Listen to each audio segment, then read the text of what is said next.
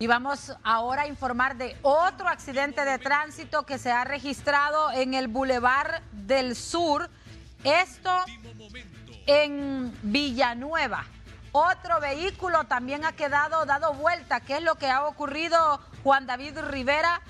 Mucho accidente de tránsito, en particular durante los fines de semana, aumentan hasta ahora no hay pérdida de vidas humanas, pero por favor hay que tener mucha precaución. Recuerde, si va a consumir alcohol, por favor no maneje, sea responsable, piense en la vida de los demás. Si no le importa la suya, piense en el resto de personas que pueden resultar afectadas si llega a provocar un accidente que podría terminar en una tragedia.